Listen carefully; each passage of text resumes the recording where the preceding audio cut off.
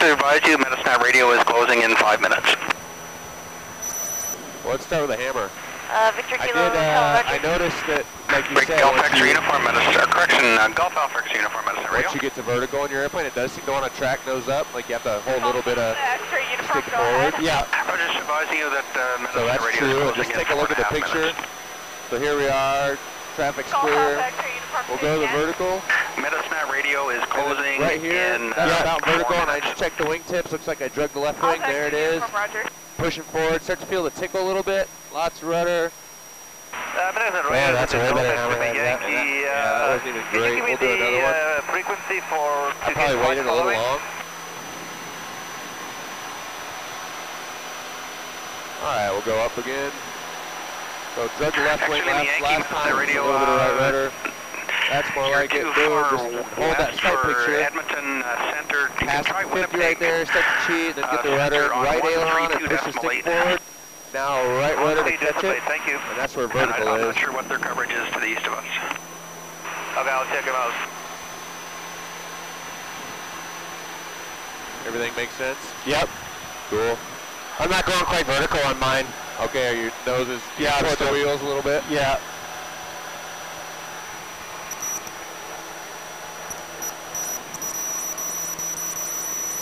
So the deal on the uh, lag roll or barrel roll, Yep. you know, imagine that we're uh, flying formation. That one of the keys is having more airspeed than the guy you're going to do that next to. Okay. But imagine that you know we're doing 180 right now. There's a guy and we're passing him on the left side doing one. You know he's doing 160 or whatever. So we just now get past him. We pitch up. The key's getting a good up vector, and then you start to roll over him. And down here you're unloading. Feel the unload. Yep. And that way you keep him vertical, and you make sure you deconflict and you don't put your airplane in front of his flight path. Oh, so point your nose over. Did Yeah, you do so- a little bit of rudder to do that, or? Uh, it was all coordinated. Yeah. The biggest thing is get the nose up first, then pull like you're doing a barrel roll. That gets the nose tracking across his flight path. Yeah. And then unload once you get upside down so that you don't pull into him. Yeah. So your your flight path is floating across where his is. Okay. Harvard Flight Medicine Radio. Have you done consecutive rolls in your RV? Yeah. Yeah. I wouldn't Yeah. mind trying that. Okay. Cool. Yeah, you know, it gets a little, it, it, the tendency is to be barely and the nose is just generally tracking down. Yeah. And you can do it where it stays pretty level, but it's kind of pull, push, pull, push.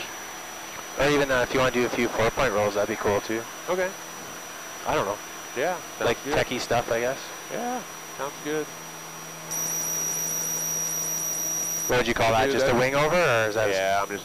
Are you gonna do a split? That's just the kind of a barrel roll, really. Oh yeah. Yeah, it could have been a split S. Yeah. You slow enough there over the top? Yeah, it was 80. Yeah.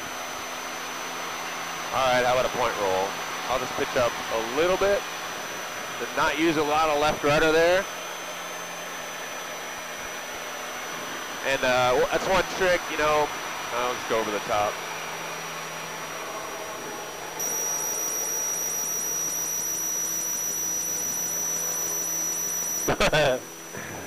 the headset sucks. This thing isn't tight enough. Oh, okay. That's all right. Anyway, one trick for a four-point roll, you know, instead of using a lot of rudder with the roll on the first one, let adverse yaw actually drag, draw your nose up, Oh, okay. and that helps you set a vector that's not going to let you descend. So it's just one trick that you don't, from the outside, you don't notice that that happened, but by letting it be the first, the first Hotel 90 Oscar degree Minutes roll, Radio. be uncoordinated, it gets Yeah. the nose up a little bit. Okay. All right, so rule of thumb in this airplane, I would start with a rule of thumb of 1,500 feet uh, required for a split S. Uh, Yeah. I know from experience in my airplane that uh, I can do anything, and I can do 1,000 foot diameter loop from anywhere or less. Yeah. Uh, so my rule during the air shows is 1,200 feet. I won't pull through if I don't have 1,200 AGL. Uh, but if you use 1,500, it's a nice round number. You won't bust your tail. Lima Hotel Oscar Medicine Radio. I wouldn't initiate a pull through the vertical at above 100 knots indicated. Okay. Otherwise, you're going to get fast. You can do it more than that, but as a rule of thumb, easy numbers. Slower than 100 and above 1500 above where you want to recover. So Yeah. South Stringer you know, 5 is 1500 uh, feet Ben AGL is your minimum, zero. or right now, let's say, and let's just That's- experiment that's miles an hour in that one, actually. Is it? Yeah, yeah. Okay. Yeah. Interesting. I wondered because it. Yeah. This is Medicine Felt Radio. like I was Medicine Radio is more closing until 1145. All right, so here we are. We're at 7,000 indicated, so I'm going to say you know, so if our goal was to recover by 5,500, let's see what we get. So are we going to burn less than 1,500 feet? I'll tell you what, we'll pick another number just to slow down. So we'll get below 100. So let's just use 75 as a nice round number. There's 75, so we should recover by six really easily. So there's 94 knots, 7,500, and the nose is going to drop because we're so slow as we roll.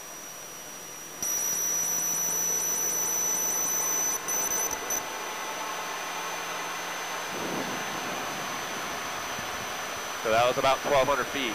Yeah. Just like you said, eh? Yeah. Yeah.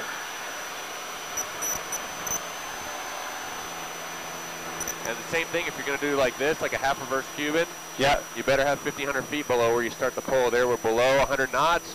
Yeah, 90 knots, 7,200 feet. Let's see where we end up. It should be right around six. Actually, it should be less if we were climbing. Yeah, so 63 or so. But yeah, like Okay. I said, uh, 15. Count on losing 1,500 feet, and then whatever your personal comfort level. I wouldn't use less than 1,500 feet AGL. That leaves you about one mistake high, which really isn't enough for just No. practice. Well, you got to be 2,000 AGL, right? Legally. Okay. Yeah. Canada. In Canada. All right. Yeah. It's What's the rules in the states on that? No. 15. 15. Yeah. Yeah. Well, so split S, the barrel roll thing, hammerhead, point rolls. Anything else? You wanna do something while I'm in here? I mean, you got the goofy rudder pedal. Can you get it to spin? Yeah. Yeah. Let's get it to spin because I always got. I was going to a, uh, just into like a Spiral kind spiral of thingy. Yeah. Yeah, a little itty bitty shot of power as you enter We'll get it to break. So you just got to make sure you got the stick in your lap and keep it all the way back. Oh, while you're spinning, you got to keep it held right back, eh? Yeah, if you let off the back all, at all, It it'll just start stopped. flying. Yeah. Traffic. I'm Do you kick the rudder or you just hold it in? No, right, just as, just before or as it stalls, just ease the the rudder, downwind kind of accelerate the rudder all the way to the stop. You don't have to jam it. Yeah. Just start it and then accelerate it right to the stop. Okay. So 76, that should put us at about 45 AGL, at least. All right, mixture, props coming forward. Actually, I'll leave the prop back at about 25. We won't need it. I'll plan on one turn. The, the thing I've noticed with the RVs is past one turn, in between one and two turns, it really accelerates, Okay. and then it becomes a less predictable recovery. Okay.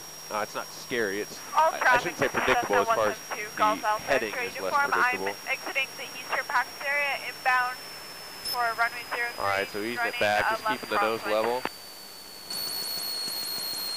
And we'll see if we can do it at idle. Might do it better with the CG where it is with you back there. All right, so there's idle. There's the stall. Yeah, it's spinning. Then opposite rudder. Oh yeah, that's way better. Yeah. One turn. Huh. You notice though it was relatively nose high, Yeah. and that's just because with both of us in here, it's you know toward the aft end of the CG range. I know solo. It's hard. It, the, the nose just drops too easy. Oh yeah. But I also probably wasn't pulled back hard enough on the stick, maybe. Yeah, when you when you commit, put the stick centered and all the way back, and hold it there until you're ready to start flying again. Uh, to Okay. the aircraft that just called us is Victor Kilo Hotel. Uh, just wondering I like if you doing that kinda like this. Site, 'cause I This is what, see you. when you feel the energy like that, I love doing that. Yeah. All right. Going vertical? Yeah, here we go. I'll just go over the top this time.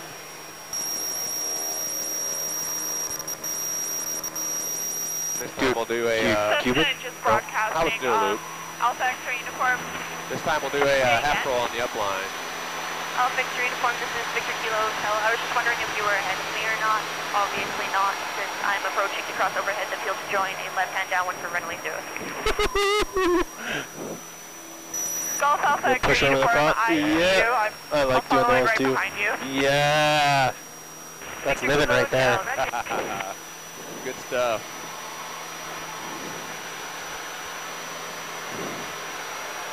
Uh, and Palliser 5 trainers in the missed approach for runway 03.